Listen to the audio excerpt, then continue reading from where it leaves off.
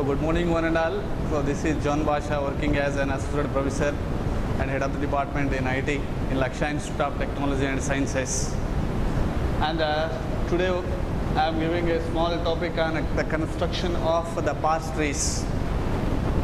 In especially the parse tree is one of the very very important tree in compilers. Here before going to the construction of the parse tree, what is meant by the tree and uh, what is meant by the parse tree and how to construct uh, the parse tree. Here what is the tree?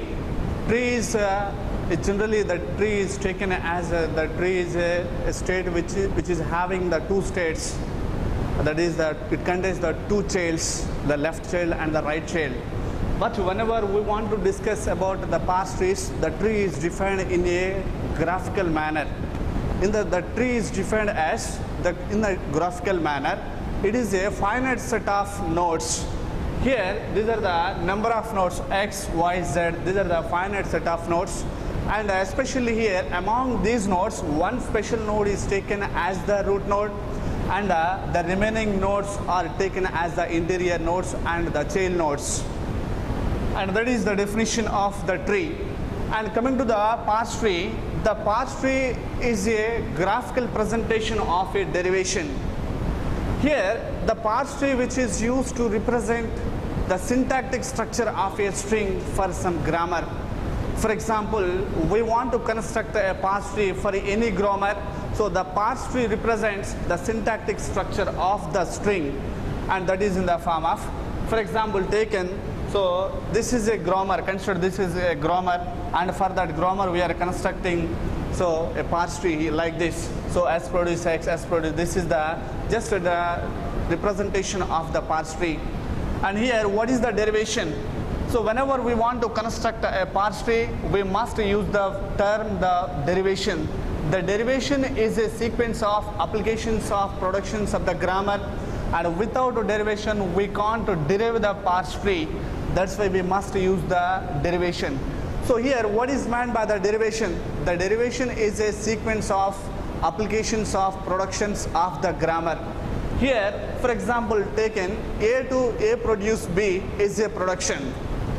Here whenever we add alpha is a, a item or an extra node and whenever which is added on both the sides of a and b then so this is converted into alpha a produce alpha b and this one is the derivation the first one is the production. A to b is the production. And whenever we add something to on both sides of the production we get the derivation. And this one is the derivation.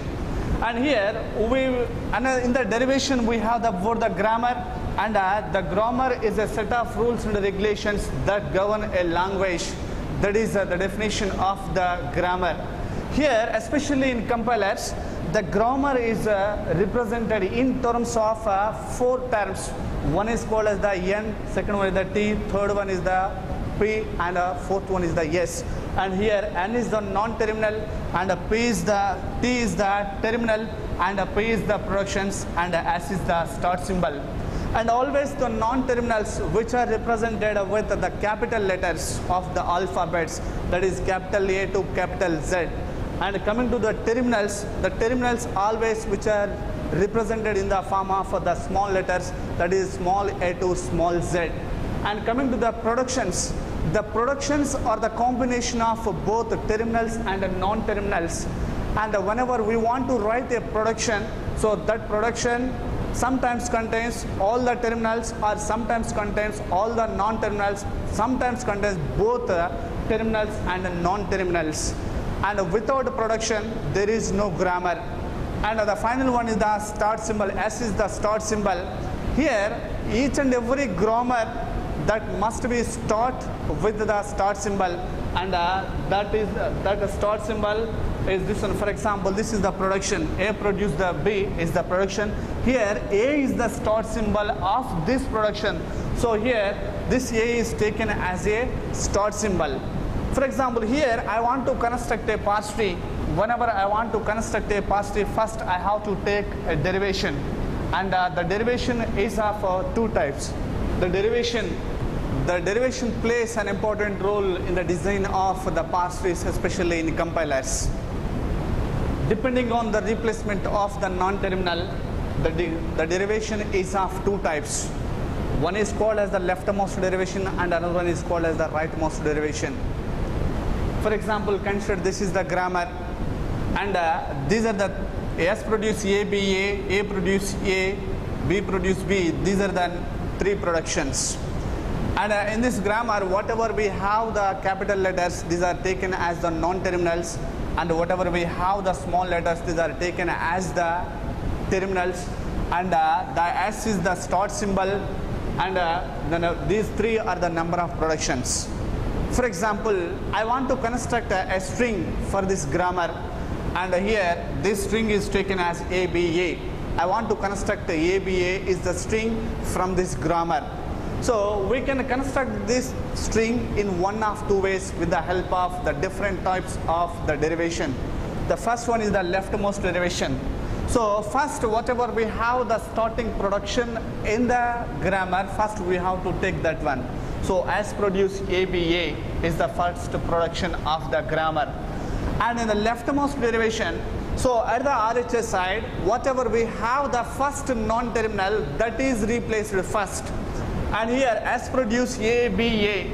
So this is the starting production. In this starting production A is the first leftmost uh, non-terminal and that is replaced first. And then we go for the second step. In the second step, the second from B and A, so B is the leftmost non-terminal and uh, that is taken second and that this capital B is replaced with B and uh, the third one is the A and this is replaced with A. So this is called as uh, the leftmost derivation. So for this leftmost derivation, whatever we replaced the productions for each and every non-terminal and uh, according to that one we have to construct uh, a parse tree. So first step S produce ABA and in the second step so here the capital A the first capital A is replaced with a small letter and uh, here so the capital A is replaced with the A. And in the second one in the third step and uh, for the third step the tree is like this. And uh, for the fourth step the tree is taken as S produce and here we are replacing. And finally we get the string ABA and here this is the leftmost derivation of the parse tree for the given grammar.